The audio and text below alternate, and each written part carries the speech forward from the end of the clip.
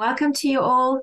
Um, this is now the second time we come together um, to discuss different ways in which forest and farm producer women can be empowered. Um, and the objective of this dialogue series is to offer uh, women members and representatives of um, producer organizations a platform to connect with each other, inspire each other, share and exchange on your experiences and visions. Um, each dialogue has a particular theme or a topic, but always with a connection to women's empowerment. Um, and the topic of our first dialogue event in March, um, if you recall, was entrepreneurial and leadership mentoring and peer to peer learning. So, opportunities which allow uh, women entrepreneurs and leaders to have access to experienced mentors and coaches who can provide guidance and support as they build and grow their businesses and leadership. Um, and um, we have recorded the event, and Isabella is um, uh, going to link us to to this recording, so you can, if you've missed it, you can you can watch it in your own time. Um, and during this event uh, in March, we've also collectively generated a range of recommendations of on how women producer organizations, businesses, and leaders could be supported and could support each other through mentorship and peer-to-peer learning. And we pulled all of these lessons learned into an infographic. Um, perhaps maybe now is also a good moment, Ellie, to share the screen again because it is in in the presentation slides just to give you a quick visual um, impression. And Isabella has also um, copying a link into the chat so you can look at it in your own time as well. So this would be after the agenda slide, Ellie. And um, so to so this is the this is the infographic that was the result of our last session, which we are quite proud of, and we hope that is useful to you and your organizations, and very happy if you share it with others.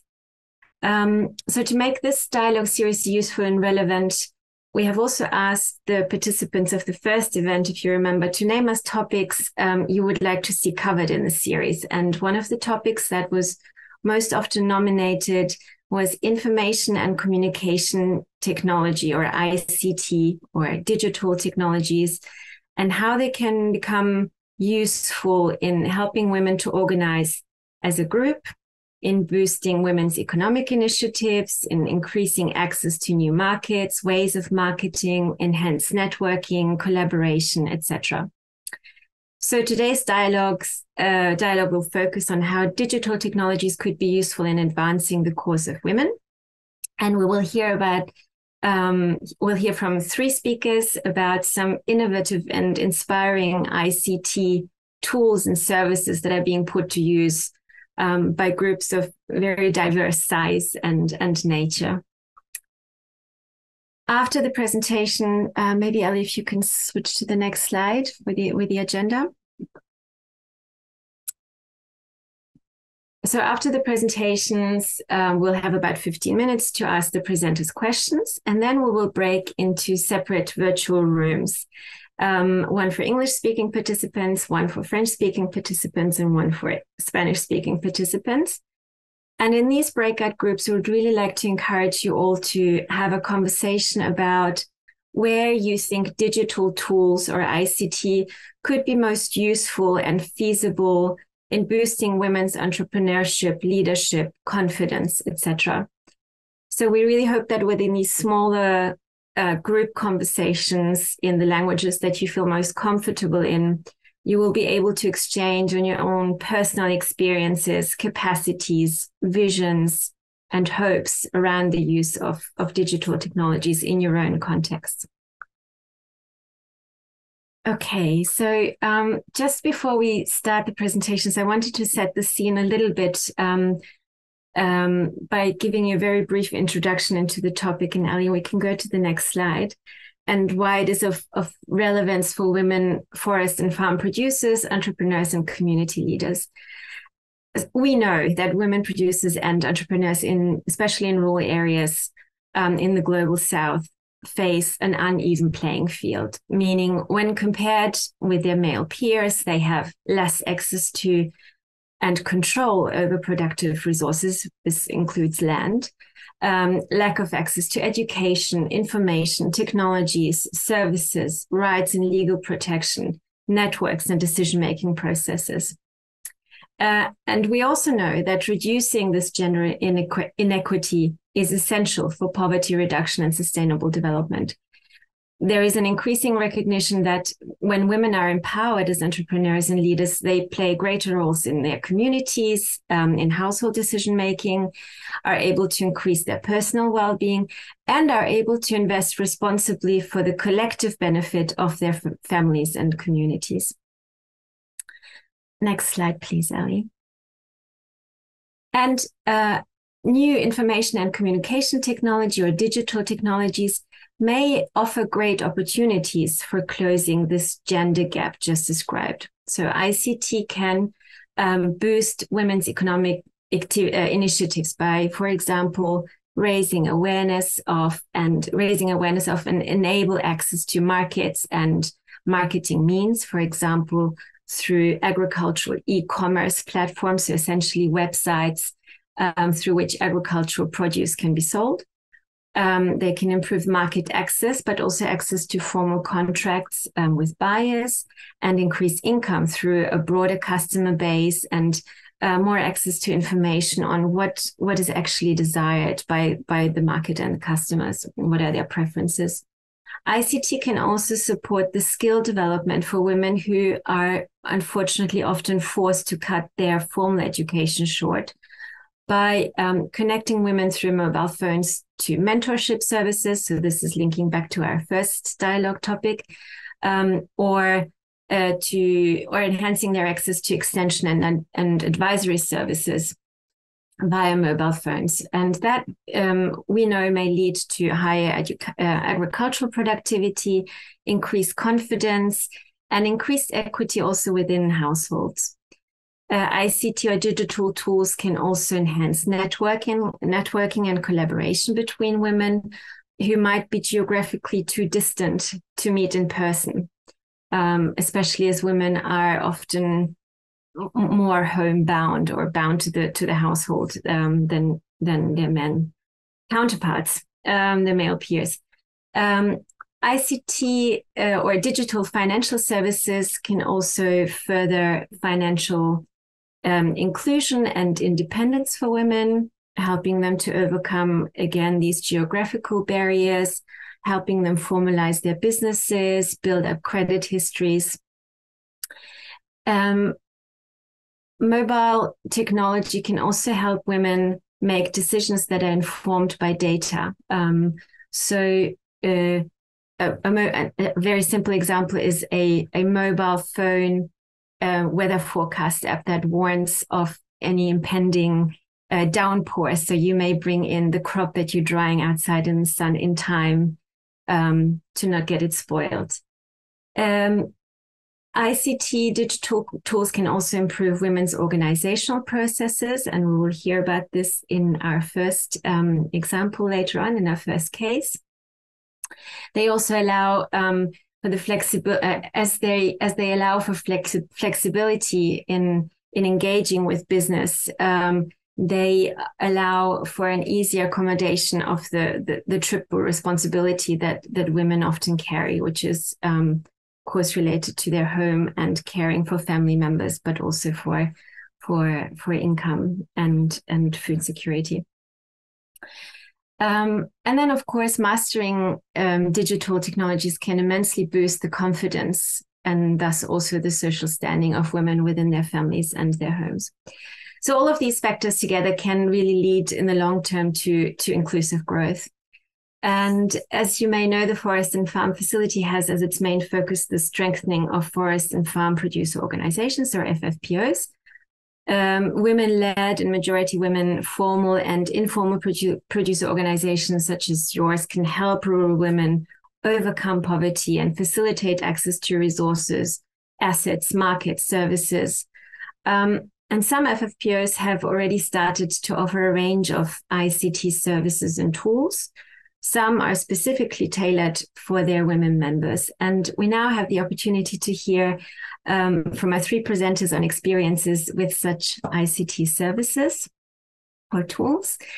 And with this, I would like to give the virtual floor to our first speaker, Ms. Basha Mehta from the Self Employed Women's Association, SEWA, joining us from India. Um, those of you have, who have participated in our first dialogue already know Basha, having presented the SEWA NEE Manager School as an interesting mentoring and peer to peer initiative for women.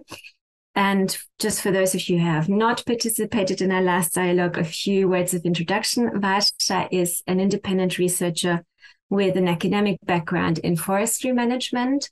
And for over 30 years, she has worked on projects focusing on food and livelihood security, natural resource management, and gender equity uh, with UN agencies, the World Bank, and NGOs.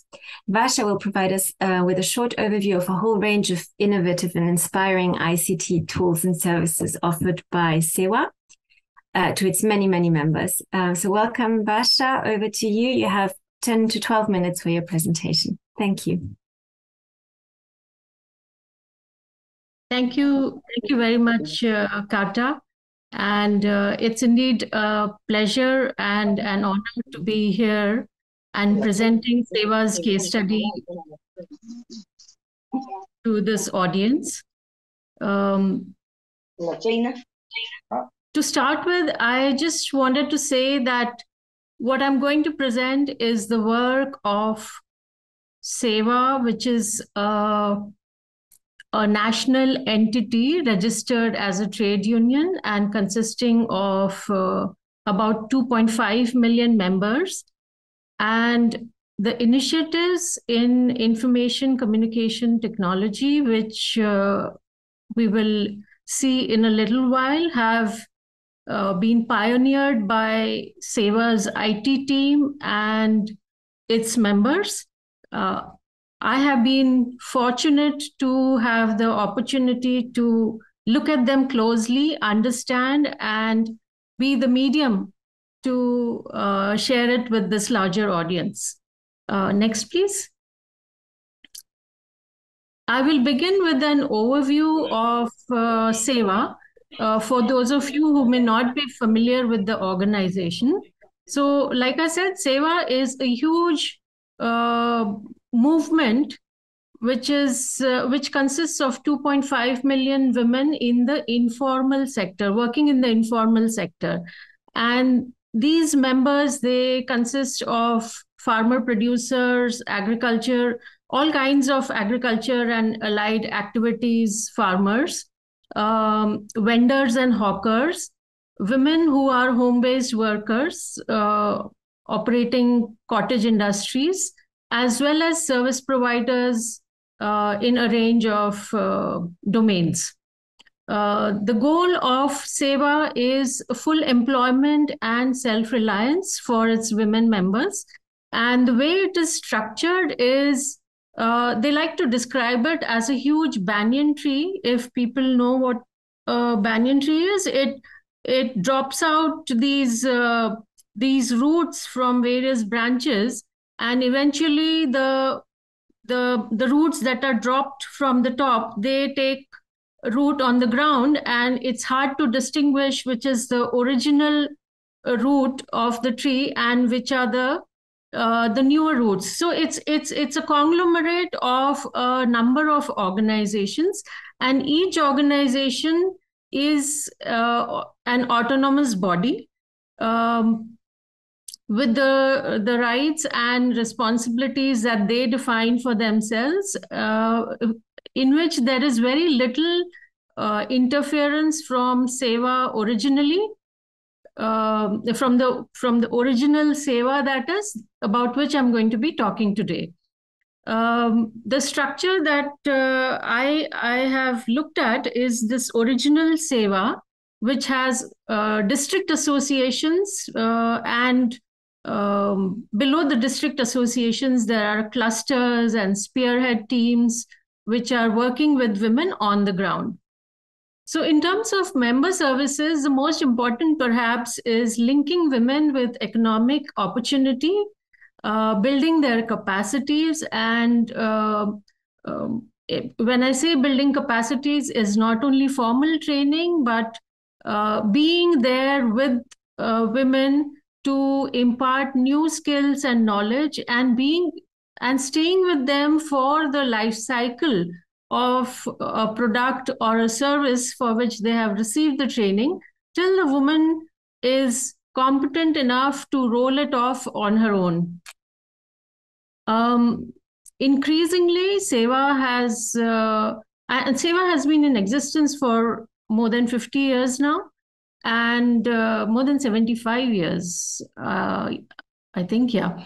And um, uh, for the last 10 20 years or more years or more they have been they have, uh, providing uh, market linkages uh, to its members. And for for this market linkage initiative they have experimented with various forms which we will look at in the subsequent um, uh, slides.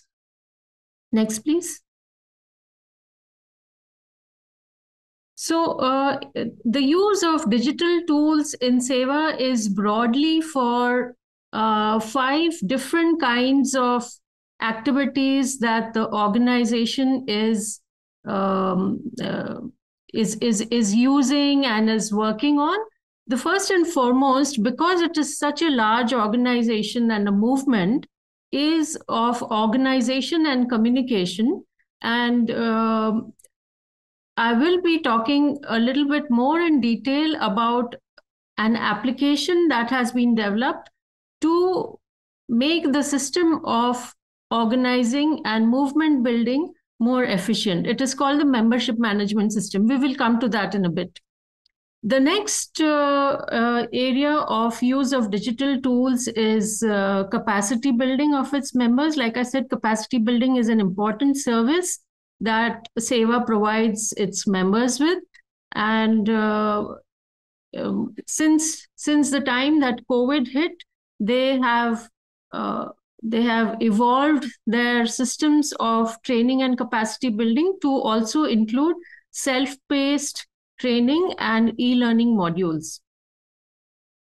Um, the next is uh, to do with strengthening livelihoods of its members. And here, the apps, the digital tools that SEWA has introduced have to do with marketing of produce, uh, both internally, that is within the SEWA uh, network, and externally to the larger market and secondly for better management of inventory uh, and and there is an app here. There are two apps in fact uh, in the livelihoods domain that i will be discussing uh, in a little while in greater detail. One of it is for an internal market um, and the second one is for an external market.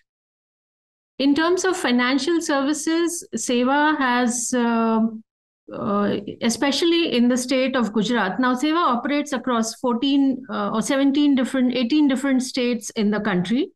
And uh, in the state of Gujarat, especially, they are very strong on formation of savings and credit groups of women. Now, uh, the the bookkeeping and accounts and such aspects of these financial services were manually taken care of earlier. Now they have moved to use of apps. M Bachat is one of the apps that I will be detailing uh, going forward. Uh, in addition to that, there are other kinds of financial services, and I'll briefly touch upon those as well.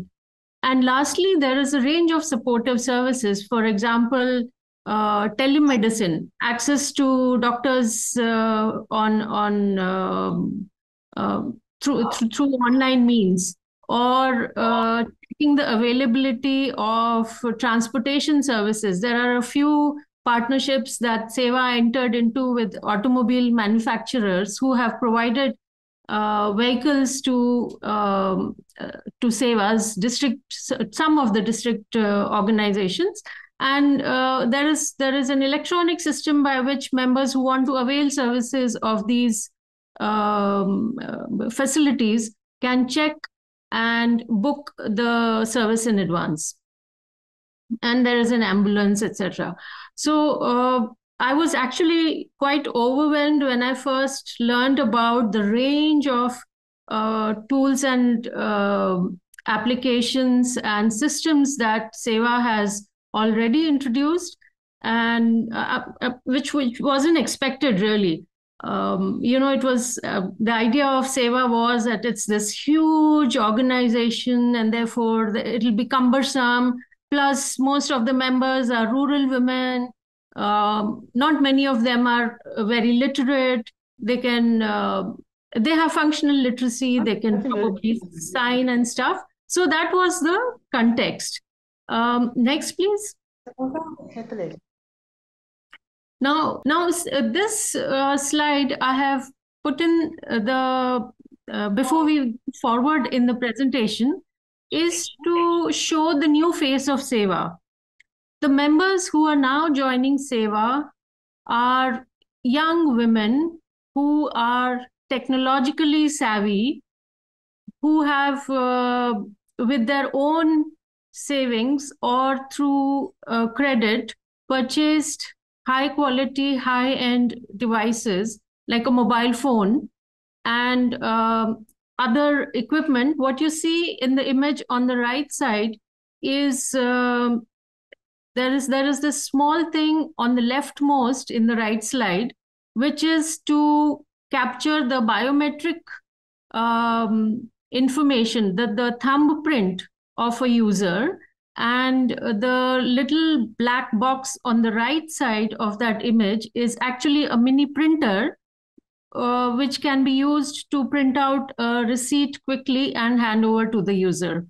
Now, with this new phase of SEWA, um, the kind of services that uh, members are able to avail and members are also using uh, has um, has has reached proportions which is quite commendable.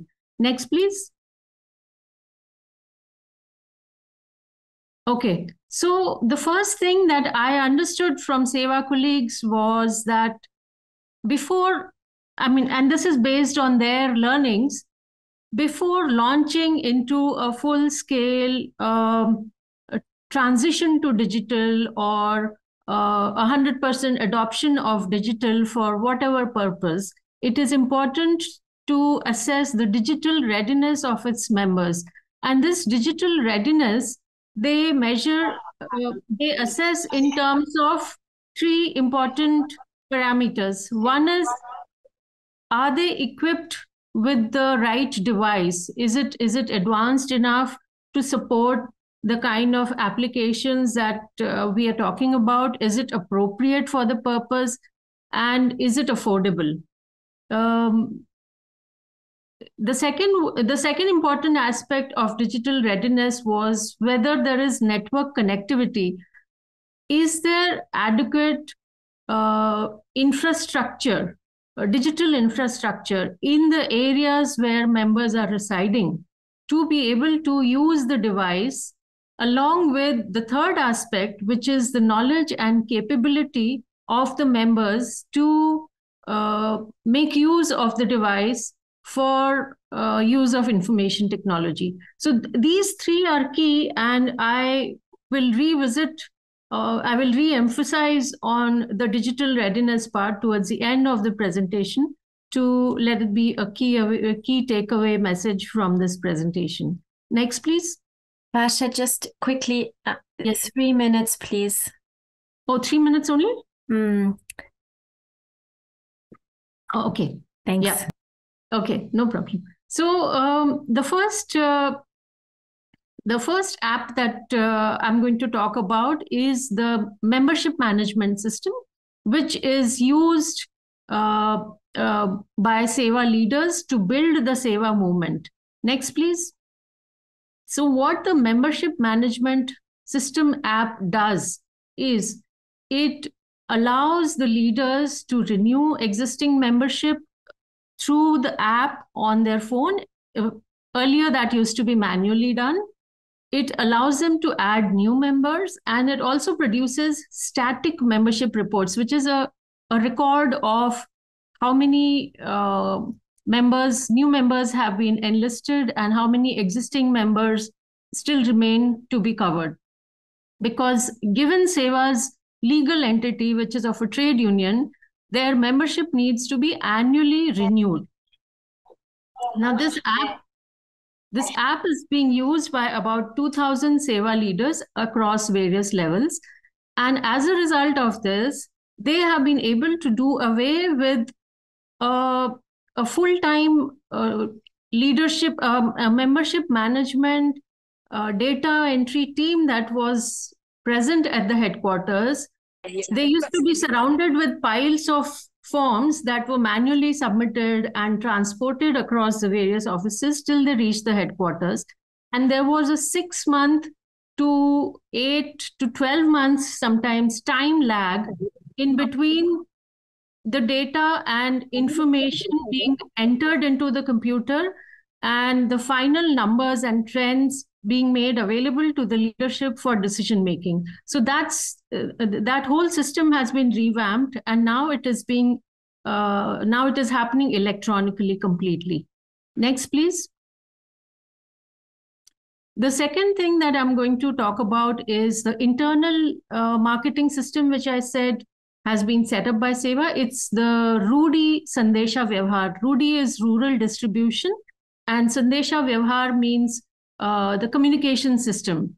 So uh, basically, Rudi was Rudi multi trading. Uh, um, please let's let's go to the next slide. I, I have the full name there.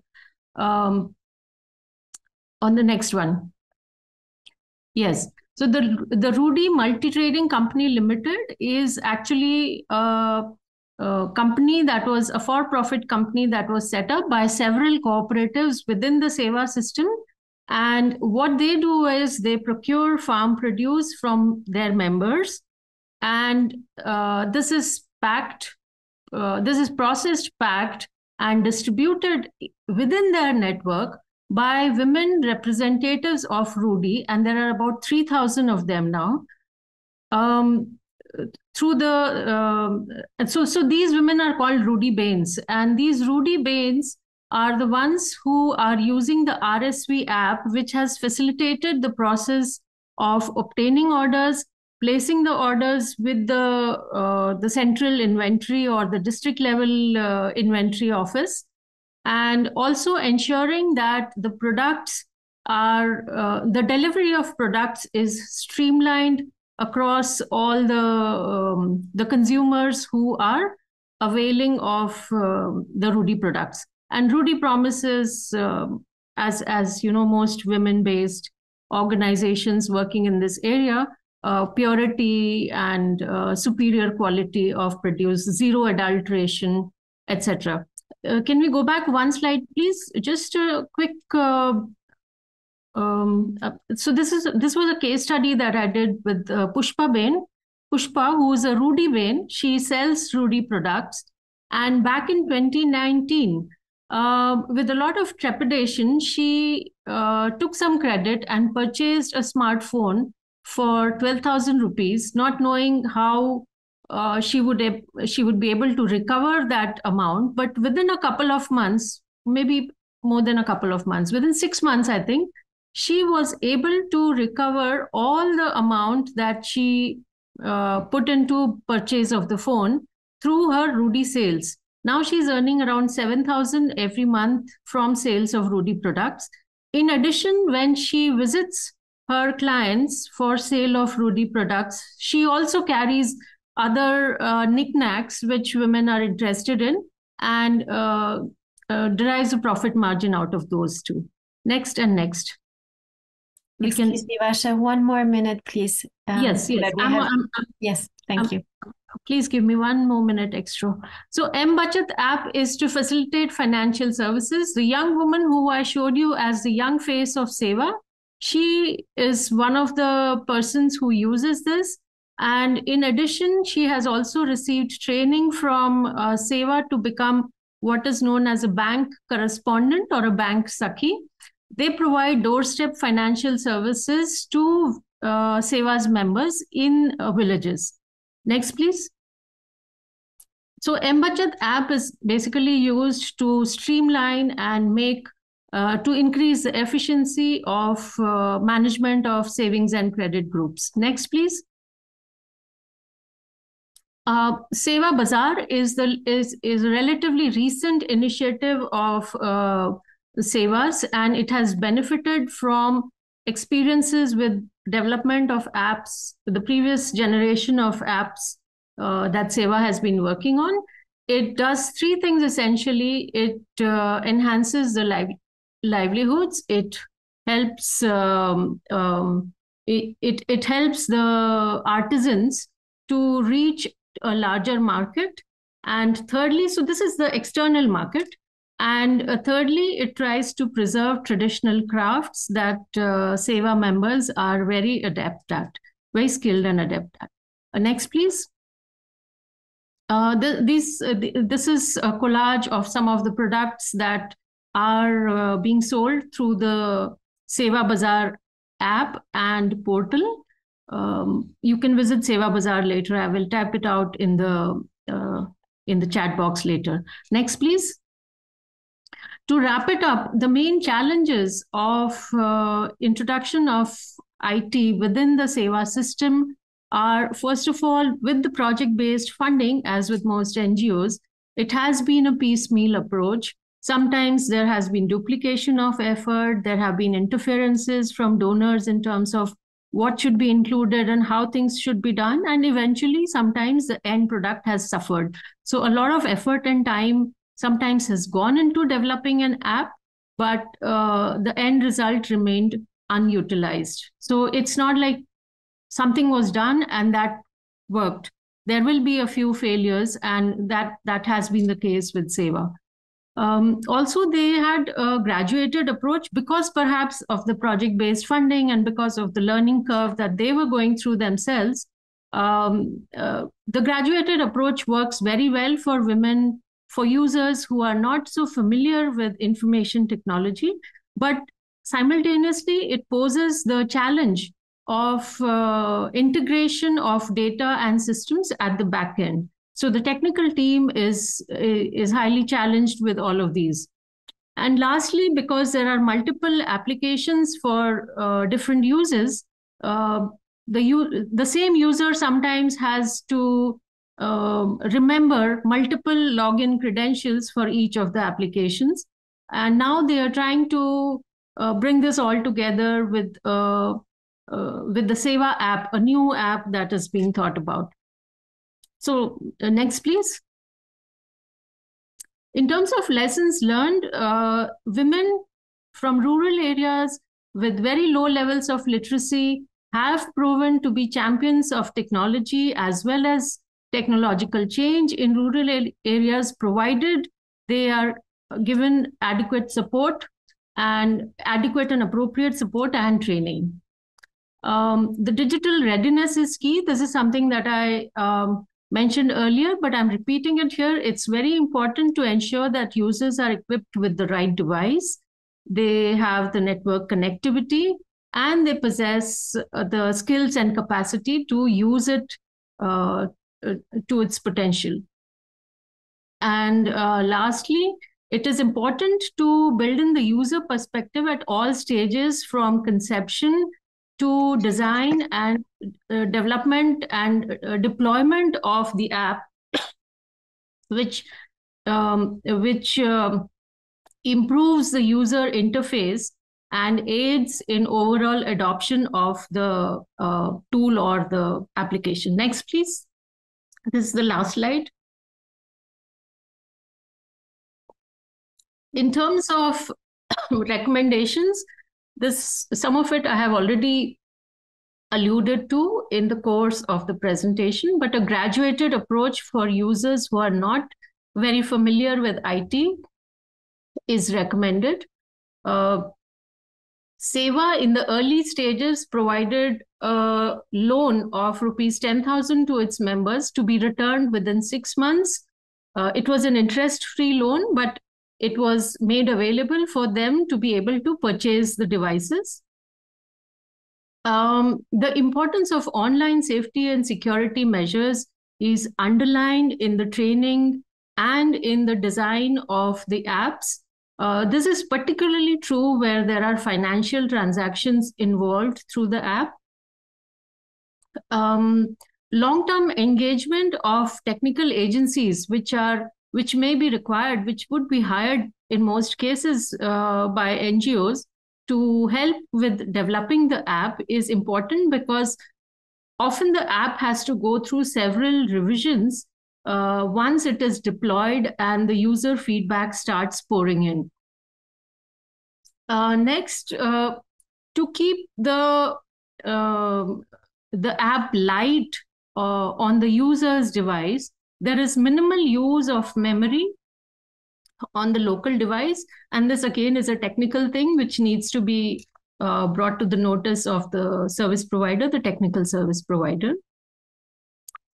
The other important aspect in SEWA, which has ensured that users adopted the technology which was provided, was other than training, there was dedicated support for every query. There is a there is a lady called Bhavna Bain who's part of the IT team, and she was the one who guided me through most of uh, uh, my case study research. Uh, she Sasha, to to to, I'm, I'm, we I'm really need to wrap it up now to give a chance for the other yes. presenters to present as well. Thanks. I'm almost done. So dedicated support is key. Otherwise, users may give up uh, the app with a bad experience. And lastly, there's ongoing mentoring and peer learning. So uh, members who have learned it already will will be happy to share their knowledge and uh, skills with other users. Uh, that is all. Uh, next, please. Thank you very much for your attention and for giving me this opportunity, Kata, Isabella, uh, and IIED. if SEWA colleagues are here, I would be very happy uh, for them to join me in answering any questions if there are. Thank you very much, Varsha. Thank you so much for this really interesting and rich presentation. I think we've all learned a lot, and there is definitely a lot to learn from from SEWA. And of course, it's an organization that is very evolved. It has been in existence for over 50 years. It has many, many members. It had time to grow and develop. And um, just perhaps as a wrapping up um, of the presentation, just wanted to sort of say that some of the the the technology that you've pre- presented is very advanced and uh, and perhaps can serve as an inspiration um, for for organizations that are younger or smaller as something to to plan for in the future. Um, but I don't want to lose much time. We've gone a little bit over time already, so I would like to introduce our next speaker. Um, uh, who is uh, Dr. Nguyen Hu Nguyen, joining us from Vietnam. Uh, Nguyen is the Vice Dean of the Faculty of Economics and Rural Development. Um, of the Vietnam National University of Agriculture. He holds a PhD and a master's degree in natural resource economics and has over two decades of experience in teaching and development research, focusing on participatory impact evaluation in the agricultural and rural development sector.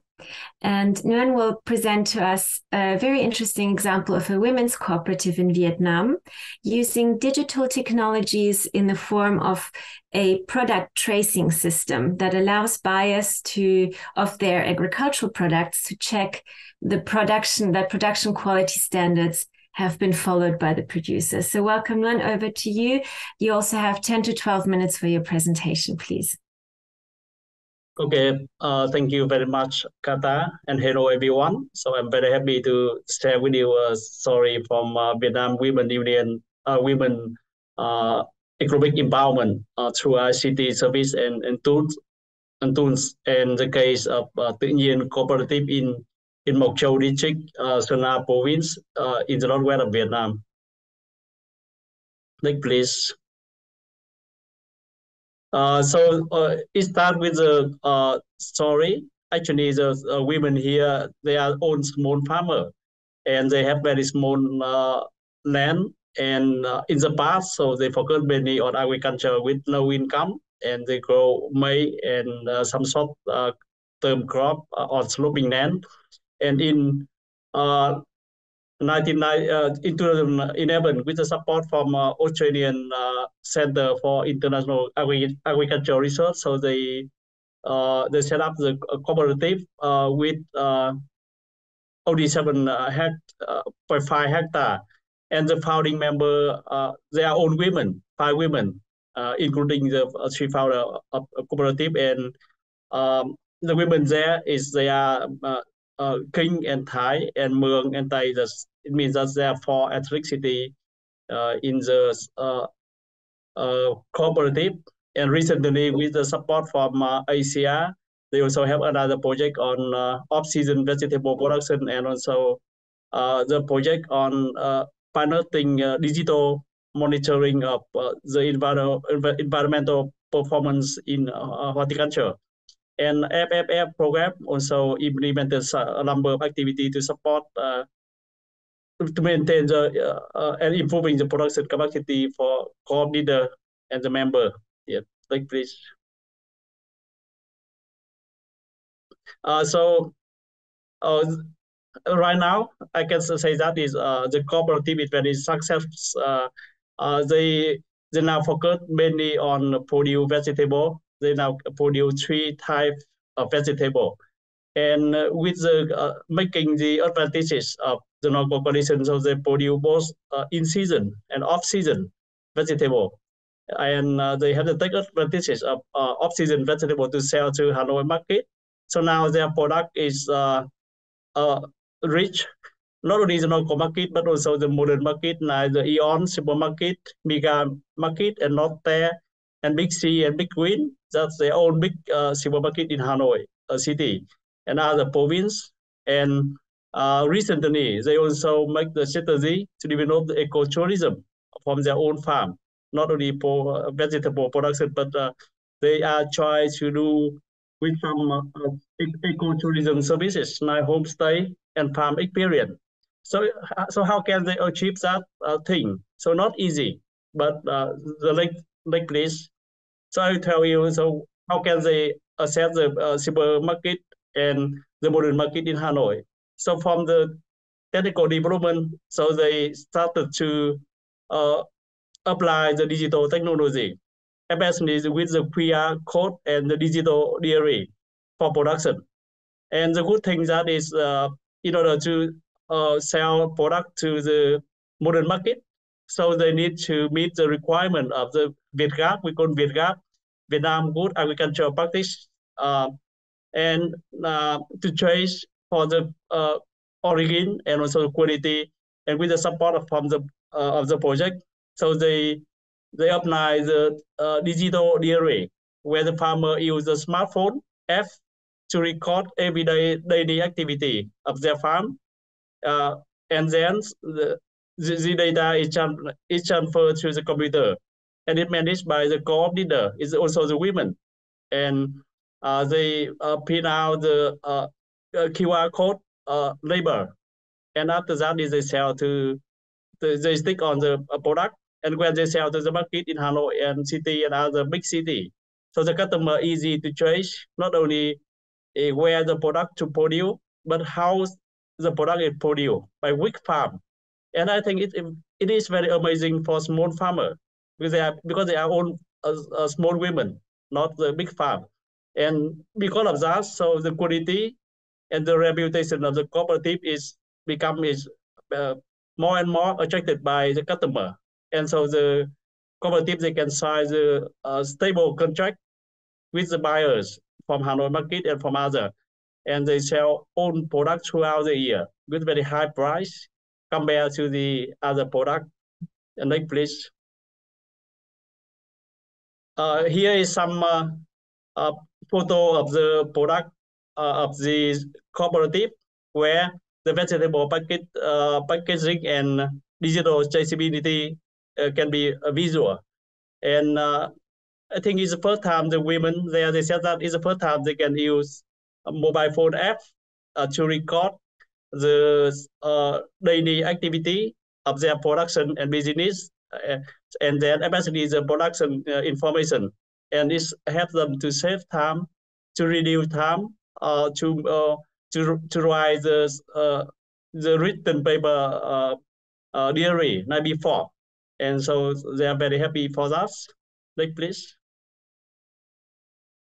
And uh, recently, they also have the ambitions to uh, not only to check for the uh, origin, but also they apply the temperature and humidity measuring device. And this is supported by Australian Center for Agricultural Research project. Uh, it's still in the pilot uh, process, but it seems that it seems that is the cooperative they want to continue this good practice because they uh, with the, with the device when they set up on the the vegetable uh, truck and so they can record the real time data of the the vegetable from the farm to Hanoi market. And especially the modern uh, customer, the modern markets, they they highly appreciate uh, uh, this thing and they trust the quality of the uh, product from the uh, cooperative and they, they want to sign more contract with the co-op and the women there, even with a small farm, but they now become uh, they get a very high uh, profit uh, from vegetable uh, production.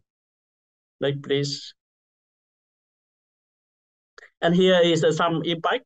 So for many things, but I, I can see that is uh, uh, the key impact from the application of the digital technology is the first is is an enhanced social capital. So why? Because the farmer when they work together in the cooperative and when they apply the digital uh, diary and QR code, and uh, it is controlled by the cooperative leader and with the support, uh, technical support from the co- op leader, and also the contract uh, from the co-op with the supermarket and other actors. So it helps them to work together in the group and to produce uh, good product and uh, with the high quality and quantity enough to supply to the uh, modern market. And uh, especially the women empowerment and environmental protection. So here's some example. So from very simple uh, production, now they have three, uh, 32 clean vegetable product and meeting the VietGAP standard, and they can have the output of about over 1,000 tons per year.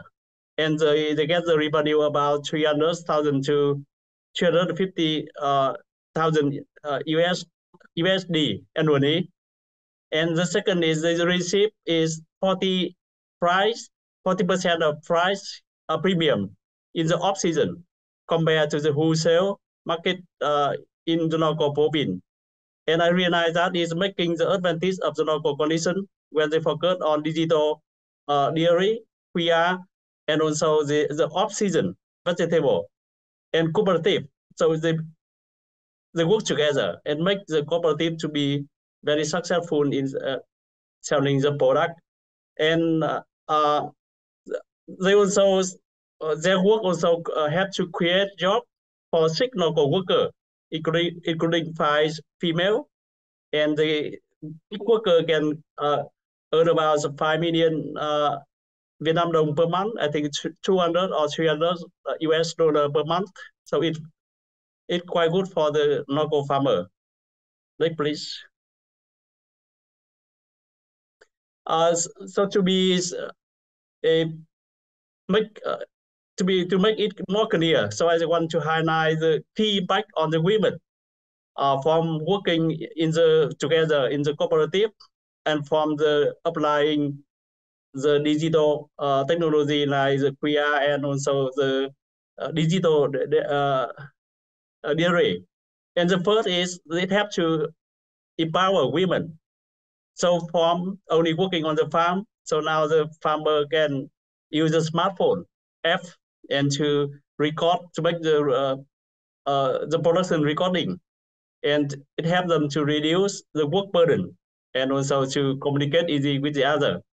And uh, the second is uh, uh, or the second is it also helps them to improve the access to the wider market. Without the digital uh, traceability system. So the, their product may be limited uh, in only some uh, buyers and some uh, you know, small markets. But with the digital traceability system, so they can target not only in Hanoi but some other city. They especially the modern uh, supermarket. They uh, sign the contract with the co-op and with the the women there. They can produce own kind of vegetables throughout the year and to many uh, wider market. And, uh, and I think the most important thing I observed from the interview with the women there is they seem to be uh, very confident about what they are doing and about the success they achieve and about the even the challenge they they are aware and they they try to discuss together and to uh, share with me that is they want to certain the uh, practice, but they they are aware of some challenges and they want to overcome that challenges by mobilizing their own resources and also uh, to make the, their own investment uh, from the profits they get uh, from vegetable production. And uh, I think is um, another point is here is very important that is social capital development.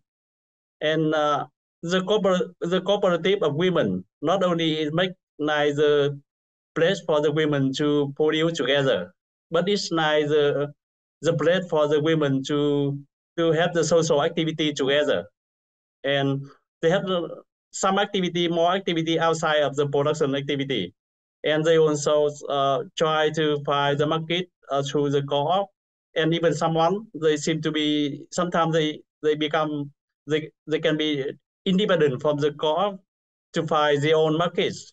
From experience, they they work with the co-op.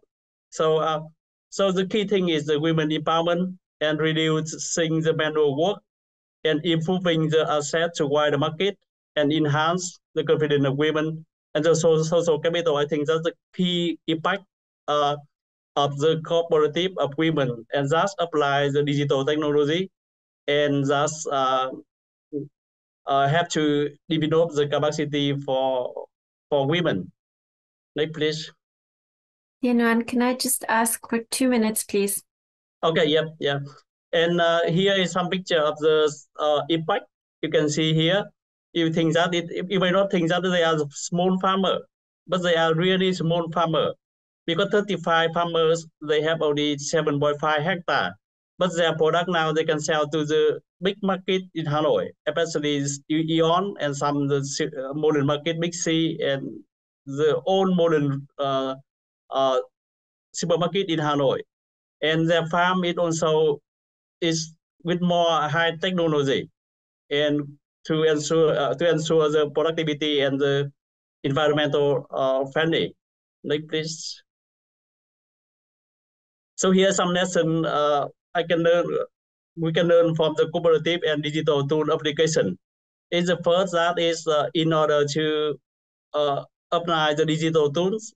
So I think it I need to have some activity to build the human capacity, especially the technical capacity and uh, economic uh, empowerment and the, and the incentive for women to learn and to apply. And the second is uh, cooperative of women definitely is uh, the collective help them to have the collective production and solidarity and help them to reach more markets and to work together and to find more uh, potential buyers. And uh, the third lesson we can learn that is with the digital traceability system and market uh, development.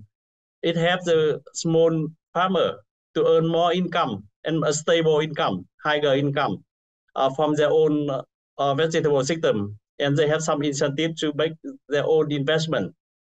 And uh, the next lesson is also is, uh, when they are more aware about the uh, sustainability, so they are good agriculture practice, so can help to make the soil improvement and environmental protect protection. And uh, the last thing is uh, about the physical uh, lesson.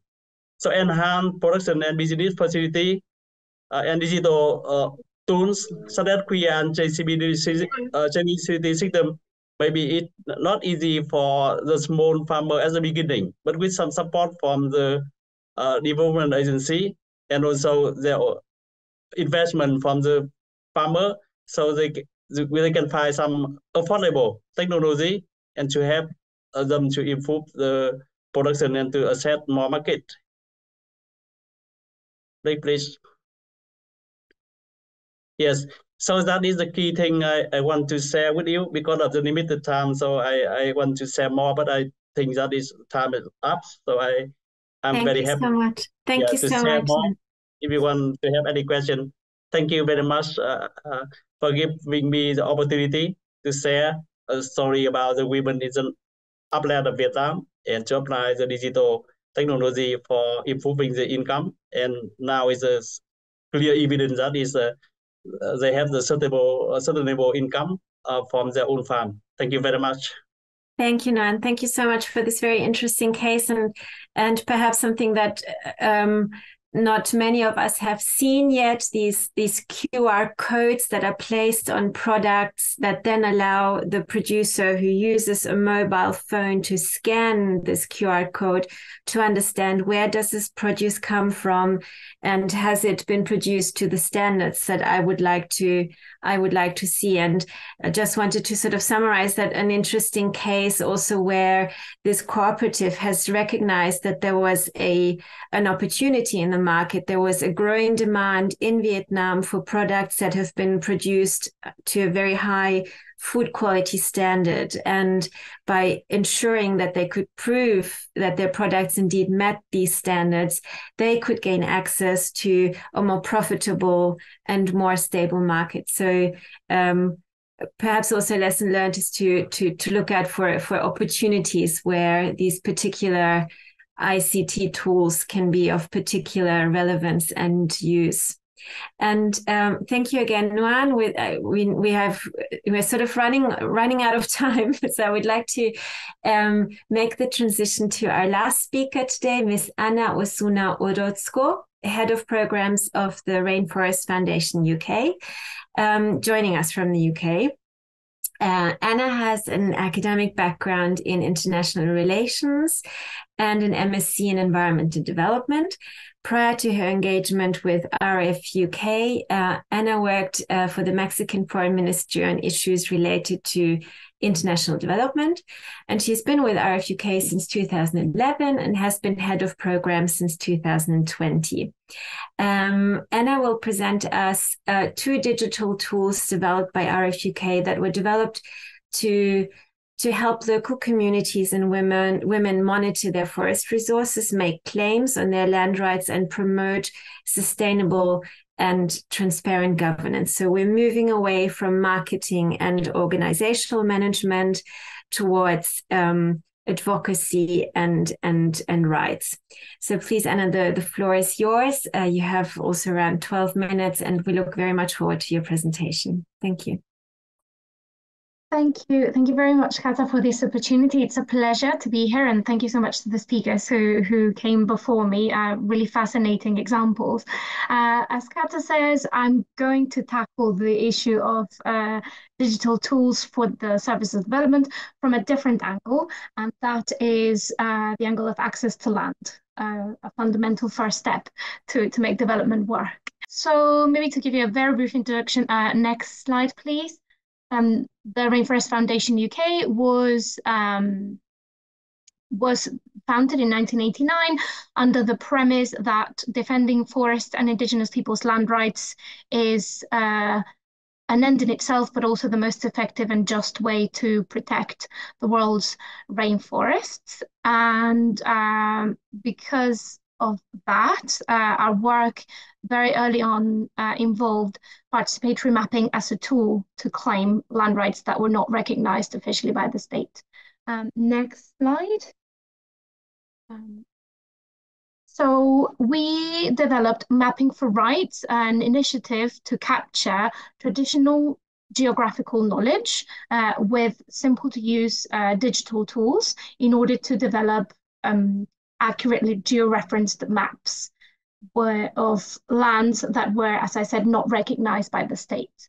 Um, these tools, we we aim to make them extremely accurate and universal in, in the geographical information systems language, but also flexible enough for people who are not used to using technology to be able to use them and express their knowledge. As you can see, we developed many icon-based um, applications so that even people who are not literate could um, document their geographical knowledge. Um, next slide.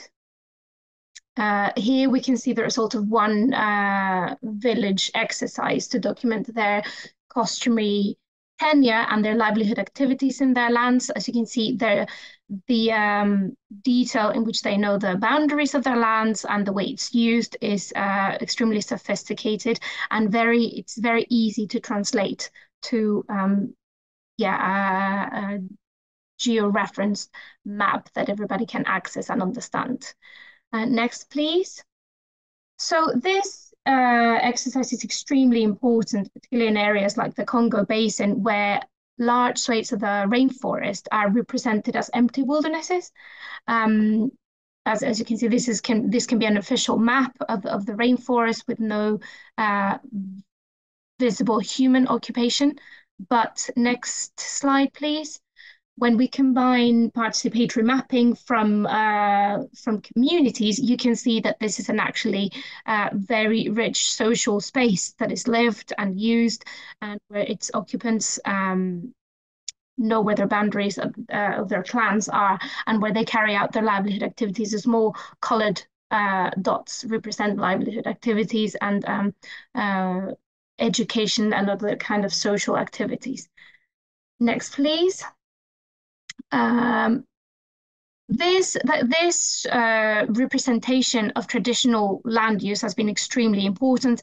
I guess in in Latin America, it, it's well known that traditional occupation maps uh, lead to land titling. In Central Africa, this process has been much more recent, but uh, in DRC, the Democratic Republic of Congo, for example, these mapping exercises have already led to official recognition of community lands as community forests. Um, next, please. In other areas, such as Cameroon, uh, participatory mapping has been used to advocate against uh, rubber plantation that was uh, creating incredible uh, severe impacts on local livelihoods. By demonstrating occupation, um, the uh, rubber company agreed on some mitigation measures and um, yeah, an engagement plan with local communities. There's a, a, a few examples of how participatory mapping have can be used. Next, please. Uh, also by digitizing this traditional knowledge and documenting occupation in a scientifically rigorous way, um, it has been possible for us to demonstrate, for example, that uh, lands held by indigenous and local communities have um, are better at protecting forests and at protecting biodiversity. Here, I'm, I'm sorry about the title of the slide. I did the presentation I was very tired, but uh, what, what it represents is um, statistics on deforestation in, in an area of Peru uh, where the uh, orange polygons represent indigenous territories. And as you can see in the graph, deforestation in those areas is quite uh, lower than the regional average, uh, demonstrating Indigenous people defend, defend their lands, basically. Next, please. Uh, another use for this kind of geographical uh, tool is participatory land use planning, uh, showing uh, the, the land to a community and enabling the uh, participatory discussion on how to use it in a sustainable way and in, in an equitable way. Um, maybe here I, I want to say that uh, these tools for, us as an organization, ensuring adequate women's participation has been a challenge, but it's extremely important. Um, capturing the knowledge of women, capturing their aspirations and their demands when doing land use planning is key to the success of these exercises in terms, in terms of social well-being, but also environmental protection. Next one, please. Um, here is just an example of a land use plan developed in Peru. So you can see that uh, the exercises done on paper can be really uh, can be represented in very sophisticated georeferenced maps. Um, next one, please. When uh, we, we started working on mapping, um, we identified the need not only to represent land occupation and to use maps to manage the land, but also to use digital tools to defend those lands, and particularly to send alerts on illegal activities of abuses happening in these spaces. This was particularly important in areas with no connectivity because um, by nature, uh, isolated forest communities have very little means to communicate to authorities, to NGOs, to people who can support them. So we developed uh, the Forest Link system. Uh, it's a digital tool that allows uh, forest communities to document illegal activities on their lands and to send them to a centralized platform where an allied NGO can review them and react. So alert uh, the authorities or go to support the community directly, uh, engage in mediation, um, depending on, on, the, on the type of alert. Something innovative about this system was that communities could send alerts even from areas without uh, internet or mobile connectivity. So they could send them via satellite, therefore opening up space for communication uh, in remote forest areas. An important feature of the system was also the ability to aggregate alerts not only to uh, enable specific people to denounce abuses, but also to show trends of uh, abuse, corruption, illegality. Uh, next, please. So this is where you can see the alerts that we have supported in, um, yeah, for seven years in Africa. You can see that once you see the big picture, uh, a story starts to emerge about illegal uh, activities in, in African forests. And that's um, the power of citizen science, enabling uh, individuals to denounce what's happening in their lands. Uh, next, please. Um, so this type of monitoring uh, technology, we have uh, created a very user-friendly application uh, that can be adapted to many different local realities and uh, can really be used to document whatever specific communities want to document. So here I'm, I'm showing um, cases of illegal logging, illegal mining, and also abuse by um, park rangers, which is a common occurrence in, in Africa. Next, please. And uh, this is the most recent uh, iteration of this tool. Um, learning from the from the uh, experience of Forest Link, we partnered with a Kenyan organization, the Kenya Land Alliance, to develop a tool specifically dedicated to report women land rights abuses. So, and we call it Haki Ardhi or land rights in Swahili.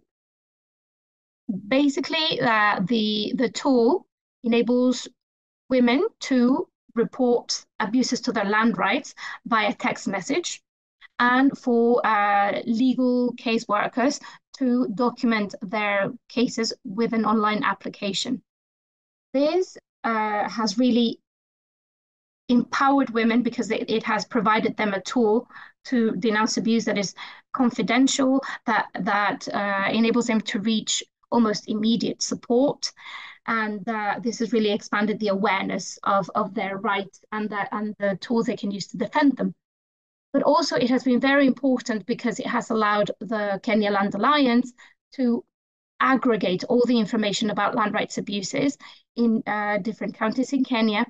And this has led to policy insights and recommendations because they can observe the, the big picture of, of uh, land rights abuses in, in the country. Uh, it, it, it started working last year, so it's, it's shown very promising results. Um, next one, please.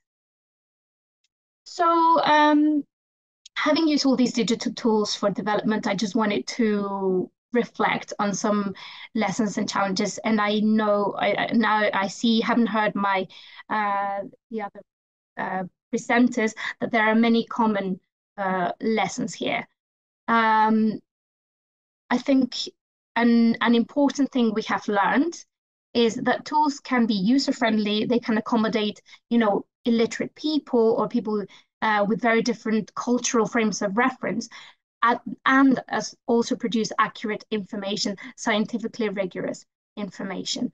Uh, and we're trying constantly to make this case uh, to decision makers. Um, another crucial aspect is uh, that digital tools on their own are not enough. Uh, and I think this has been mentioned before as well. Training and constant support are key. Uh, and especially in cases where you are working on advocacy, uh, people who are alerting, who are using the tools to do to claim their rights, need somebody to respond to them and to support them following through. Uh, in this sense, it's not only about using the data, but also creating a network, creating alliances, uh, so that these data can be used for maximum impact. Uh, as I mentioned, and this is something that I'll be very interested to discuss with you, women's participation and inclusion in the use of these apps, even in the ownership of phones, can can face opposition in many of the communities that we work with, and uh, is something that we're looking constantly uh, on how to tackle. Also, yes, um, when we talk about financial sustainability, it's relatively easy to say, well, maybe we can make people, um, we can support people to buy a phone. But actually, if you really want the system to work, you need the whole uh, support structure around the digital tool to ensure that the system will work. Uh, and lastly, uh, I don't want to be too, um, yeah, to, to live a, on a sad note, but it's important to take into account that these digital tools uh, increase advocacy power, raise the voices of isolated communities, but this may also represent a risk for, for defenders. In that sense, uh, we need to be very conscientious of accompanying digital tools with protection measures uh, for the people using them. And this needs to be part of a, of a working methodology. And uh, yes, I think that's it. Uh, I hope you find this interesting. I'm looking forward to the discussion. Thank you very much. Thank you so very much, Anna. This was very interesting. I also the first time that I've been introduced to these tools and and yes, incredibly fascinating to see an application that stands really at the beginning of um, the kind of activities we have just talked about previously, which is the access to to land resources and um, and of course, this event is uh, meant to be an inspiration also for forest and farm producer organizations such as yours as they perhaps um, contemplate their their next steps um, and the external support they might would like to apply for in the kind of applications that um, could be interesting for them to in- implement for their members as well. Uh, so thank you, Anna. And in, in the interest of time, I, I I must say that we have to skip the question and answer session. So I, I, really encourage everyone who has questions to our presenters to post them in the chat and for our presenters to to keep an eye for questions that are addressed to them and to try to respond to them. Um, and I would now like to move on to our discussions in smaller circles sort of challenges and solutions and your experiences with digital tools. Um, so we have three breakout groups uh, French, Spanish, and English. Yes. So we would like to know um, what were the, the interesting bits in the presentations for you personally, for your own context? And how do you think the tools that were presented could be useful within your own organizations? Where could you see challenges in implementing these ideas? And perhaps also what other tools that your organization already uses? Or which areas do you see where tools could be these ict tools could be useful? And we will post these chats in the individual sorry these questions in the individual breakout group chats as well. So you will have them present. And of course, the facilitators of our breakout groups are also aware of them. So you will need to nominate a rapporteur and then um, when we come back to the plenary, it would be great if you could um, give us in five minutes a summary of the things that you have touched on. Okay, welcome back. Perhaps this is also now a good opportunity to to to have a discussion all together. Um, so if I could perhaps um, ask the rapporteur of the um, of the French group of my group, Aisha, if you are here with us to maybe give us a quick impression of what we talked about, and uh, then we can pass on to the next groups. Ok. Bonjour tout le monde et je remercie Kata pour la parole. Je suis Aïcha Ourosama, la directrice exécutive du Centre d'autonomisation de la jeune fille et de la femme africaine. Et je suis la rapporteuse, ou bien la rapportrice, voilà, du groupe euh, français donc, euh, dans notre groupe, principalement, nous avons déjà profité pour euh, faire des présentations, nous connaître davantage par rapport à nos différents secteurs d'activité. Et nous avons également éventuellement parlé de tout ce qu'il y a comme leçons apprises au cours de cette rencontre-là par rapport aux différentes interventions. Et nous avons euh, euh, notamment discuté avec Madame Anna qui était dans notre groupe et, nous avions euh, discuté des éventuelles possibilités de partage d'expériences entre différentes structures. Donc, bon, comme question, moi, j'aimerais savoir un peu plus. C'est vrai que ma question s'adresse à tous les présentateurs comment est-ce que l'apprentissage de, euh, de la maîtrise des techniques d'information et de communication se fait avec les femmes rurales? Parce que nous savons tous et, toutes ici combien de fois c'est pas vraiment facile pour nos mamans euh, en milieu rural de s'approprier ces techniques-là. Est-ce qu'il y a des expériences qu'on pourrait partager avec nous dans ce sens ou bien des idées euh, de partage euh, voilà, de cette technique-là, ou bien des idées d'apprentissage qu'on pourrait véhiculer avec nous pour qu'on puisse également savoir comment il faut euh, peut-être aller vers le développement de cette technologie-là et puis les mettre à échelle au niveau de nos communautés respectives. Je vous remercie. Um, so yes, thank you very much for this question, Aisha. Very good question, and I'm sure many of our participants um, would would like to hear some ideas from our presenters, perhaps on this. How do we how how do we um, enable uh, capacity building for women who live and work in remote rural areas and perhaps have less access to to formal education and and and other types of uh, services? Varsha, perhaps um, you have you have some experience with a very large organization that is working with very remote and very poor women. Um, right. So um, I think SEWA's strength is its women members and uh, the uh, the capacity building method which they have adopted, and this runs across all areas of capacity building. It's not just information technology. Uh, they have uh, uh, anchors on specific themes. Information technology, information communication technology is one of those themes. And these anchors are women from the villages who have undergone training at SEWA headquarters and have been trained to be trainers who then take the training down to the grassroots women users.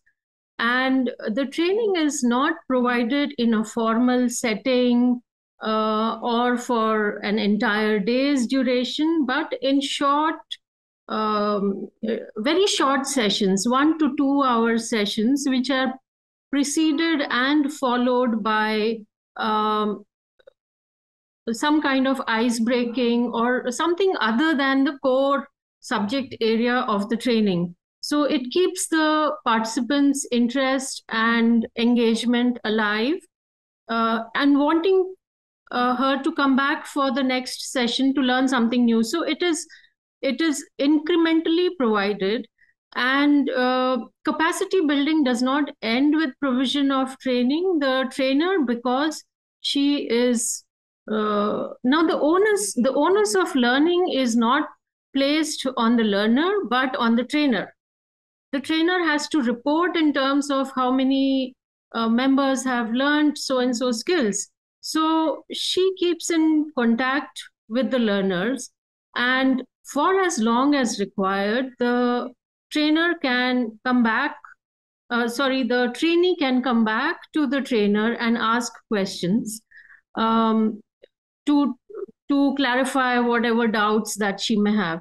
In addition, in IT, what I found was uh, women are also approaching either their kids, younger generation who is more tech savvy, or they are approaching younger generation members of SEWA who have picked up the skill. So uh, training is learning is happening in multiple ways, and because uh, it is not an add-on. The application or the system which has been introduced is part of part and parcel of the role uh, of these women uh, who are members of SEWA. They have to learn it. They it, it is linked in some ways with the economic benefits which they derive. So there is a high level of motivation uh, to learn. Thank so multiple you. factors at work. Yes. Thank you, Varsha. And indeed, uh, the, the organizations that some of you are part of, these forest and farm producer organizations, have precisely also this kind of function of trickling down knowledge to local groups. Um, I know that the, the English group uh, rapporteur is running out of um, laptop battery. So I would like to give her the floor to, to, to report us back what was discussed in her group. Please, the floor is yours, Alima. Yeah, so thank you very much for the opportunity. I want to report on behalf of the English group. We were five, five in numbers. So for us, uh, the learning that uh, we did in the area of all the three presentations, I'm just going to summarize that. But my team will add up when I leave something. The first one was the fact that uh, for the SEWA group, they were able to use ICT to manage large numbers of women and then get them to be very effective and efficient. That is a very good lesson that as FFPOs, we all need to know that technology can provide that opportunity. Then the Rainforest Foundation to the fact that working with rural women, you're able to give them capacity, the right skills to use technology to work very well and get all the activities done at the right places and then get returns. I think that is also a very good learning of what technology can do. And that, from that angle means that the location doesn't matter. If you get the right skills and using the right ICT tools, you should be able to get it right. Then for the use of QR code, that was also mentioned. I think that uh, the, our breakout session also highlighted that very important uh, learning that uh, it provided opportunity for the producers to have a very good pricing mechanism and be more sustainable, then they can compete with the pl bigger players in the whole in the industry of vegetable production. Then we also learned one other sharing was the linkage that uh, technology provides women. Like the example that SEWA was giving, where the initial investment for a smartphone appeared expensive, but as her time went on and they started to use it, she was able to know that it's more cost effective. It is also better. And then the returns on investment was more. The last point that uh, our team, our group raised was the issue of cooperatives to make quick innovations. What to have very well-established cooperatives, they build very strong database and as a resource. So when they, they also are able to mobilize more resources with their numbers, and they are able to use that one to keep and respond to calls very fast. And they are also able to meet deadlines and compete very efficiently. So group member, this is what I said. Maybe we can add it. We think that I've left out something. But these are the learning that our groups were, were, were, were showing. Thank, Thank you, you, very much, Alima. Thank you. Thank you so much. Um, could I also now um, give the Spanish group the opportunity to report back? Who's going to who's going to tell us what you've discussed? estoy aquí. Aquí esto. Please, no si. Ya. Eh, sí, justo en el grupo de, de, de habla hispana, entonces les voy a comentar algo que comentaron en, en el, en el grupo. Bueno, estábamos hablando sobre este tema de, de la importancia del uso de la tecnología. Alguien de los expositores mencionó sobre que el uso de la tecnología tiene que tener este enfoque inclusivo de trabajo colectivo. Me, me- parece que NUA y igual rescatar el trabajo que ha realizado eh, la, la organización SEWA sobre el uso de la tecnología en el tema también de, de comercializar eh, las, eh, eh, los productos. Y en este sentido, eh, en el grupo eh, expuso eh, la, la organización Callari sobre el uso de, la tecno- de, las, de estas TICs en la implementación de software para la trazabilidad de, la, de los productos. Y entonces comentaba también sobre el riesgo que que es también trabajar con el código QR, porque también es eh, revisar la información que se expone en el código QR de, le, de, la información de la producción, de los productos. Entonces, en ese sentido, ellos están buscando estas alternativas y estrategias de qué información también ubicar en el código QR, ¿no? Eh, hablaban también de que las organizaciones requieren capacitación en el uso de las TICs, de las TICs eh, para poner en eh, para hacer eh, uso del acceso al mercado de estos productos que tienen eh, valor agregado. También este enfoque inclusivo, la necesidad, siempre hemos discutido de que las, en las organizaciones tiene que haber esa participación de los jóvenes y también puede a través de las TICs, ¿no? Eh, que ellos, eh, como se, a través de la educación, entonces manejan estos temas tecnológicos, incluso podría ser una oportunidad para las organizaciones de que se pueda vincular este, este sector joven a las organizaciones y de esta manera también aportar.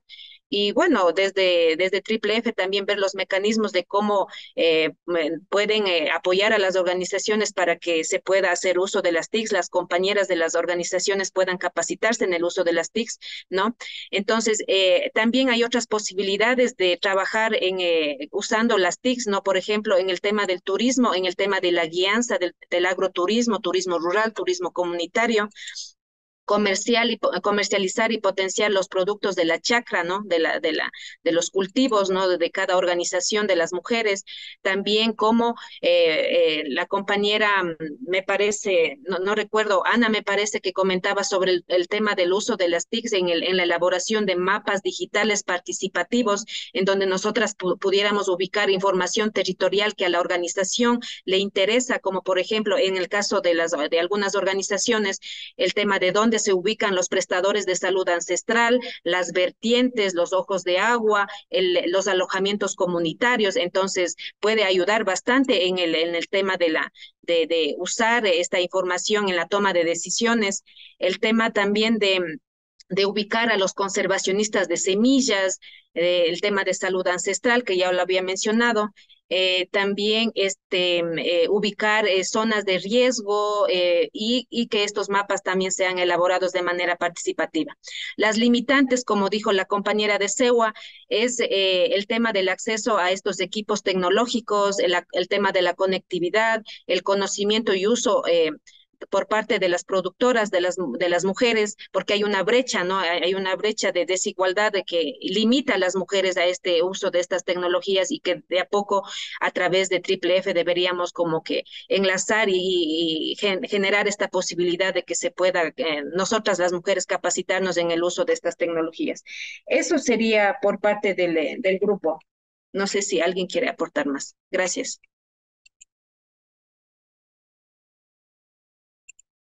Thank you so much, Mary. That was very comprehensive. Uh, you you are a very um, efficient group, it seems. um, yes, I, I I think these are all really really useful observations, and I wanted to use the opportunity to perhaps share a few more learnings um, from the SEWA case study because, uh, as a background, we have also um, asked uh, Varsha and Nuan to write up these these case studies, and they will be published um, on our website, and you will receive the link to this once they're published, so you can read up a little bit more details. But I really liked um, the way uh, Varsha formulated the the reasons why SEWA was so successful um, in implementing these these technologies, and and we need to keep in mind, of course, that they have been around for a long time, and they have started looking at these technologies a long time ago. Um, but uh, she sort of summarized it up as as, as SEWA, the organization always being very forward looking and having a, a sort of futuristic outlook and, and forward planning approach. Um, but then also um, a, a quite a, a, stable IT team, and uh, and interestingly also uh, what she highlighted was it was really important also for the organization to first of all understand really well the processes for which they required a technological solution because only if you really understand what, what it is that you will need to have included in the system will you be able to communicate to whoever is going to be the, the technical provider for this tool to provide you exactly with the tool that you need to the to the to the level of sophistication or complexity that you will require for your members. Um, I can see Anna's hand up, please. Sorry, if we still have time, just a quick reaction to because I think a common denominator in the comments have, has been how do we ensure access to even like smartphones for remote rural people? Uh, and and something I would like encourage uh, or, something I want to share is that for our project in Kenya, our Kenyan partner really pushed us to develop a very simple interface based on basic Nokia phones, or how do you call those phones now? Uh, non-smartphones, based on uh, text messaging. So sometimes less technology is better. Uh, and we have linked that text messaging interface to which much uh, many more women have access to the more sophisticated smartphone based one. Uh, so th th this is an interesting, um, th this has a lot of potential if we are creative and how do we use even basic technology that uh, can reach more people. Just wanted to put it out there. Thank you, Anna. Thank you. That's a really, really good point. I can see Nuan's hand up, please. Okay, so uh, I just want also to uh, say about how to build the capacity for the rural women actually to apply the ICT, so it's not easy for the rural women, not only the remote, but the rural women with uh, who have uh, not uh, a good uh, education background.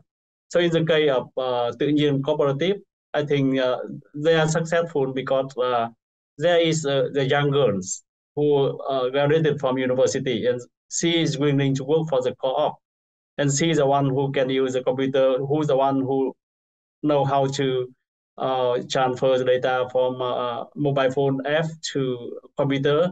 And she's the one who uh, work closely with the project and to work side by side with uh, the, uh, the member of the cooperative because she's the vice director of the cooperative and she help uh, the other day by day and she stays there and by learning together and working together and it help everyone uh, in the cooperative, the, especially the rural women who never used uh, mobile phone app before can make the uh, digital uh, recording on the web uh, on the mobile phone app. And the other thing that they also set up the social network in Vietnam. We call the Zalo. It's like the social group.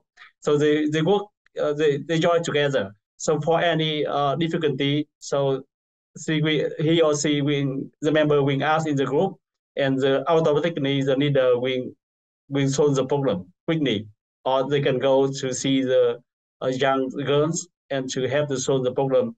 And I think it's uh, it's very important to have some uh, educated and young person, not everyone, but maybe one or two, to to work together with the co-op and to to help the other. But without any uh, one like that, I think it's really hard, especially when when you introduce the uh, ICT uh, to the rural women. And uh, at the beginning, it re really hard. Even the project, many projects, uh, it was successful after the project finished because there's no one there to sustain the uh, practice. And very important to have someone uh, willing to work for the co-op. But uh, have the basic education and capacity to apply for the ICT to use the computer and to to handle the uh, digital program. Yeah, so I just want to Thank you very much, Nguyen. Yes, indeed, and that's a very a very interesting example also of where um, the use of this new type of technology can also encourage youth to remain in the rural areas because all of the sudden there are new opportunities for them to to to to use their capacities and their skills and and and um, and gain a living. Um, we have run out of time, unfortunately. Um, I will promise the next time we will we will schedule an even longer uh, longer um, moment to discuss and. Um, uh, our colleagues have been busy capturing the points that you have made throughout, and um, as um, I've said, we've we've recorded this session. It will be put online. We will send you the link. We will also send you the list of participants. So really encouraging you to continue these conversations, follow up on questions with the presenters. Um, we really would like to make this a living community of, of engaged women who, who can exchange experiences, inspire each other, mentor each other, um, and connect further. Um, so, with this, I would like to wrap up and a huge thank you to all of you for the time that you've spent with us, for all your inputs, your wisdom, your courage. Um, it was great to see you. Thank you to our presenters for all the hard work in preparing the presentations. Thank you for the team to making for making this happen, and I look very much forward to to seeing you at our next event.